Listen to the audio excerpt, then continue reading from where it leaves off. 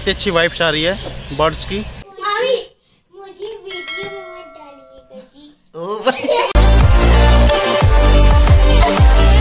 Hello दोस्तों good morning स्वागत है हमारे तड़कते भड़कते नए ब्लॉग में। दोस्तों सुबह सुबह आ चुके हैं अपने बगीचे की तरफ़। तो ये रहा अभी लगा हुआ है लहसुन। उधर आम इधर प्याज अभी लग गया आलू कोड़ने के बाद। और उधर रहा पहाड़। पॉल्यूशन की वजह से तो पहाड़ क्लियर दिख नहीं रहा है। यहाँ पे पॉल्यूशन ज़्यादा है। कोयले का डस्ट फिर धुआँ वगैरह काफ़ी है तो इसकी वजह से क्लियर नहीं है। मौसम साफ़ है। उधर दादी भी आ गई हैं, मम्मी भी है इधर से बगीचे की तरफ़। जल्दी आ गए टहलने के लिए। नींबू भी फूल रहा है अब। फल लेगा, इधर टमाटर फला हुआ है। तो दोस्तों आ चुके हैं पेटीएम में, बच्चों के। तीन लोग का पेटीएम है आज। और चल रहे हैं क्लास में। देखते हैं कितने मार्क्स आए हैं सबके। मार्क्स है ना आज? अच्छा पेटीएम सॉरी सॉरी पेटीएम है। एग्ज़ाम होने वाले हैं तो दोस्तों आज पंछी का हो गया है पेटीएम और हम जा रहे हैं पीओ क्लासरूम में। और अभी चलेंगे गोलू के क्लासरूम में भी। तो ये रहा क्लासरूम इंडोर गैलरी से होते हुए हम लोग पहुँचेंगे क्लासरूम के लिए। तो अभी इधर भीड़ है। तो चलते हैं गोलू के क्लासरूम में। गोलू के देखते हैं क्या कंप्लेन आती है। देखिए, मैं डालती मैं मना करती हूँ हाथ ढक लेती हूँ ऐसे निकालती है यहाँ डाल देती है तो मैं कभी खाना होता नहीं है क्या करती है वापस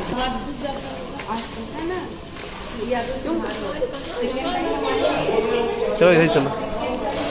तो सभी का कंप्लीट हो गया जो। दोस्तों पीटीएम और सबके अच्छे रहे परफॉर्मेंस बस पीयू का ये रहा कि पीयू क्लास में बहुत बातें करती है। पहले पहले टैलेंट थी। तो दोस्तों हम निकलना है घर के लिए। जूनियर को देखा जा रहा और काफ़ी अच्छा रहा परफॉर्मेंस सबका।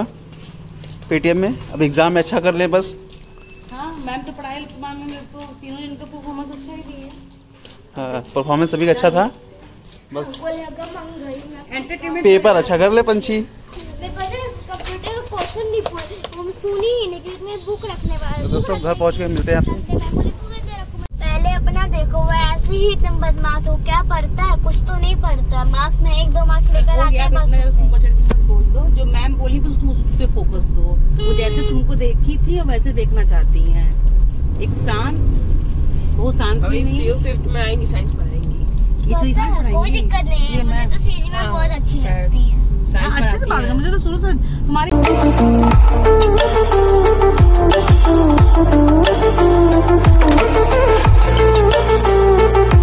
A few hours later.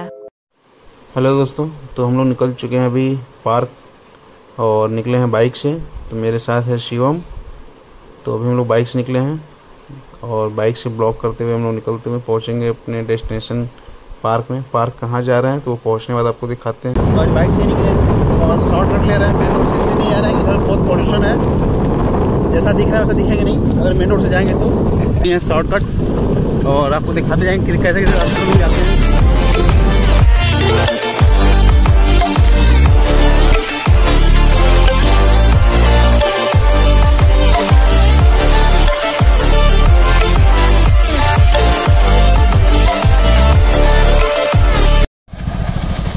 दोस्तों फाइनली हम लोग पहुँच चुके हैं अपने डेस्टिनेशन पे। तो दोस्तों फाइनली हम लोग इको पार्क पहुँच चुके हैं और ये रहा इको पार्क का entry gate Chandrashekhar Azad eco park तो अभी देखते हैं कहाँ से एंट्री हम लोग को मिलती है। तो दोस्तों, हम लोग पहुँच चुके हैं अपने डेस्टिनेशन पे। चंद्रशेखर आज़ाद इको पार्क और हम शिवम है साथ में। तो बाइक से ही आ गए थे। ज़्यादा दूर नहीं है घर से। मुश्किल से दो मीटर लगा तीन दो तीन किलोमीटर। तीन किलोमीटर। तो तीन किलोमीटर पे डेस्टिनेशन पे है अपने घर से। और अब पूरे आपको आज पार्क दिखाता हूँ। अभी अभी नया नया बन रहा है अभी अंडर अभी ये अंडर कंस्ट्रक्शन है। और पार्क काफ़ी बड़े एरिया में बन रहा है ये पार्क। और काफ़ी अच्छा है। तो ये रहा पार्क। पहले ये पूरा कचड़ों से पटा हुआ था। बट अब इसे मॉडिफिकेशन किया जा रहा है पार्क बनाया जा रहा है। तो इधर इस इस एरिया के लिए अच्छा रहेगा। बट यहाँ पॉल्यूशन इतना है कि पॉल्यूशन से ख़राब हो जाएगा। स्ट्रक्चर देख सकते हैं आप।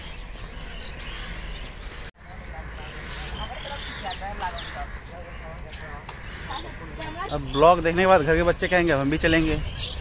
तो पह, पहले मैं आया था घूमने। काफ़ी दिनों से देखा था इस पार्क को।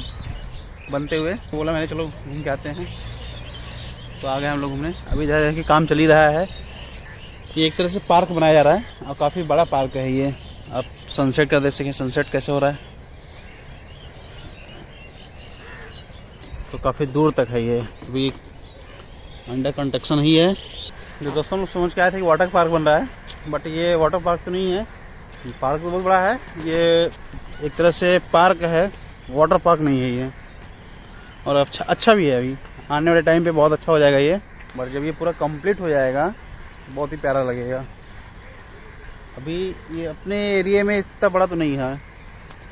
या तो बिंद मंदिर वाला क्या? हनुमान मंदिर वाला कोई व्यवस्था नहीं है। हाँ मंदिर कौन सा? रेणु सागर रेणु सागर। वो तो छोटा हो गया इसके आगे यार। और इतनी फैसिलिटीज़ नहीं है उसमें। हाँ, रोज गार्डन रोज गार्डन इतना बड़ा है। हाँ नहीं रोज गार्डन बहुत बड़ा है। बताता है रोज गार्डन इतना बड़ा है। लेकिन खराब नहीं होता है। कितनी अच्छी वाइब्स आ रही है बर्ड्स की। और अब धीरे धीरे अंधेरा भी होने वाला है।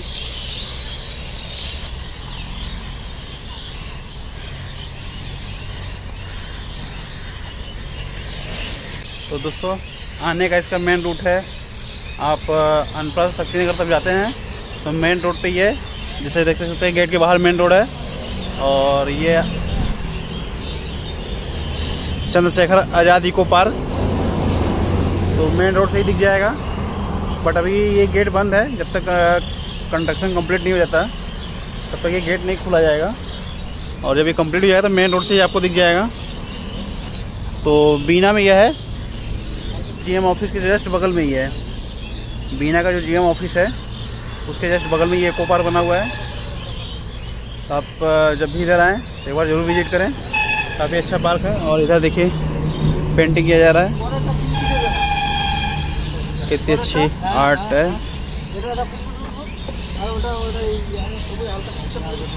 तो ये भी आर्ट का काम किया जा रहा है। सारे वॉल पे आर्ट्स लगभग लगभग कंप्लीट हो चुके हैं। अभी गेट बंद था तो हम लोग काफ़ी राउंड लेके आना पड़ा। तो इसलिए बाइक से ये फ़ायदा हुआ हम लोगों को। नहीं तो हम लोग कार से तो बहुत दिक्कत होता। तो बाइक से आने का ये फ़ायदा, फ़ायदा तो हुआ। और पाँच साल इसका मेंटेनेंस है। ये सत्ताईस ओवर का ओवर होने वाली है सत्ताईस अक्टूबर दो हज़ार तेईस? हाँ। मतलब ये ओपन हो जाएगा। हाँ। तो दोस्तों जैसा अभी अंकल ने बताया है कि 27 अक्टूबर 2023 को ये इको पार्क ओपन हो जाएगा गेट खुल जाएगा। तो अंकल ये टिकट लगेगा कैसे होगा? अब ये देखिए सर हम नहीं थे कि टिकट लगी कहाँ लगी अभी मालूम नहीं आपको? तो अभी अंकल जी को मालूम नहीं है कि टिकट लगेगा या नहीं लगेगा। नहीं अंकल? अब अब ये से जहाँ गाड़ी सब खड़ी है बना करके हाँ? अब एंड से ये पूरा रोड बनी चारा घास कटी है उधर जहाँ वो तो वहाँ से वहाँ तक गेट बनेगा पूरा? गेट वहाँ है। तो जैसा देख सकते हैं दोस्तों अभी जो बाइक खड़ी है वहाँ पे भी रोड बनेगी। यह रोड यहाँ से वहाँ तक मेन रोड कॉलोनी में वो ज्वाइन कर देगा वो रोड। मोटे हैं गार्ड रूम वहाँ बना है। दोस्तों, काम तो अच्छा चल रहा है और पार्क भी अच्छा बन रहा है। बस एक वजह से ये माइनस पॉइंट है यहाँ का पॉल्यूशन जैसा देख सकते हैं, अभी बन तो रहा है, लेकिन पूरा आपको फ़ोटो में क्लियर नहीं आ रहा लेकिन ये पूरा ब्लैक ब्लैक कोयले का डस्ट आ चुका है यहाँ पे क्लियर आ चुका है कोयले का। ये यहाँ के लिए माइनस पॉइंट रहेगा। तो पार्क तो बहुत अच्छा बनाया है। आने वाला टाइम में बस पॉल्यूशन की वजह से थोड़ा सा माइनस होगा तो काफ़ी भीड़ रहेगी यहाँ पे। दोस्तों, चंद्रशेखर आज़ाद इको पार्क के बाद, घूमने के बाद हम लोग पहुँचे हैं पुलकित कानन बिना क्षेत्र में। ये भी एक पार्क ही है। तो हम लोग यहाँ पे आ गए घूमने के लिए। चलते हैं, आपको दिखाते हैं अंदर का कैसा है पार्क। आज पार्क का ही पूरा ब्लॉग है। तो यहाँ पे सर करा रहे हैं एंट्री पार्क तो अच्छे हैं, बस पॉल्यूशन की वजह से पूरा गंदा पड़ा हुआ कोई आता नहीं है। पॉल्यूशन वजह से यहाँ कोई दिख नहीं रहा है। उधर से आगे है ना? तो शिवम पता नहीं कहाँ कहाँ ले चल रहा है देखते हैं शिवम कहाँ ले चलता है क्योंकि ये बहुत घुमा हुआ है। पॉल्यूटेड बहुत है बहुत। कोल माइन्स होने की वजह से यहाँ पॉल्यूशन बहुत ज़्यादा है। घर से आने तक मतलब दो किलोमीटर तीन किलोमीटर आने में हम लोगों का शर्ट का बस डस्ट की वजह से कलर चेंज हो गया है। दोस्तों हम आ गए हैं घर पे और जा रहे हैं चाय पीने। मस्त देखिए गर्मा गर्म चाय आ गया मेरा। इधर सोनम चाय पी रही है। अच्छा बेटा पे कर दो तो दोस्तों इन, इन लोग का चलने वाला शुरू हो गया एग्ज़ाम कर। रही हुआ। गाइस मुझे जीके पढ़ा दीजिए जीके गाइस मेरे घर में से पढ़ा दीजिए क्वेश्चन आंसर पेपर की तैयारी चल रही है लोगों की। और उधर फ़ाइल नोट हो रहा है। मेरी राइटिंग बता दीजिएगा। मैम तो। पेपर भी कुछ बोल रही थी कैसे बोल रही थी? मुझे वीडियो में मत डालिएगा जी। ओ पंछी तुम एक क्वेश्चन का जवाब दो। फाइव के जी आलू है फाइव के जी कॉटन है तो वेट किसका ज़्यादा रहेगा? आलू। कैसे? बताओ जल्दी। बताओ किसका वेट ज़्यादा रहेगा? पर ये समझ में आया कॉटन का भी सेम केजी और आलू का भी सेम केजी यस तो ज़्यादा क्यों होगा? जब ज़्यादा क्यों होगा? सेम ही तो होगा। तो पंछी कैसे बोल रही ज़्यादा होगा? आलू कैसे ज़्यादा होगा? उंगली से नहीं उठा चुलबुल एक क्वेश्चन का तुम जवाब दो। हाँ। रूम में अंधेरा है हाँ। तो सबसे पहले क्या जलाओगे? तुम्हारे पास है मोमबत्ती दीपक और लालटेन। सबसे पहले क्या जलाओगे? भैया अगर लालटेन में आग ही नहीं लगी होगी तो लालटेन लाल टन कोई ज़रूरत का ही नहीं है। हाँ। तो दीपक होगा। शाबाश बेटा। दीपक कैसे जलाओगे? बिना माचिस के? तो मोमबत्ती भी कैसे जलेगी? अबे तो बिना तुम पहले से क्या जलाओ मैंने क्या पूछा? पहले क्या जलाओगे? पहले माचिस है नहीं तो क्या जलाएँगे? माचिस तो अब हम तो ये नहीं बोलेंगे माचिस नहीं है रूम में। अरे भैया आपके आपके कहने का क्या मतलब है? अच्छा तुम ये एक जवाब दो। फाइव के जी आलू फाइव के जी कॉटन। सबसे भारी क्या होगा? फाइव के जी आलू और फाइव के जी कॉटन हाँ? दोनों ही भारी होंगे। दोनों कैसे भारी हो जाएँगे?